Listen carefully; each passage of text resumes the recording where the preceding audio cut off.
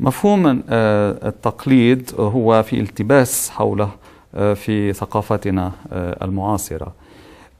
هو موضوع هو أكثر شمولية هو أن نتكلم عن العلاقة بين الموروث والتجديد. التجديد كيف يتم التجديد بالنسبة للموروث؟ ما هي نعم. المواقف؟ هناك ثلاثة مواقف اعتبارية في هذا الإطار. هناك التقليد التكراري الذي يأخذ الموروث ويستنسخه يعني يعيده كما هو نعم.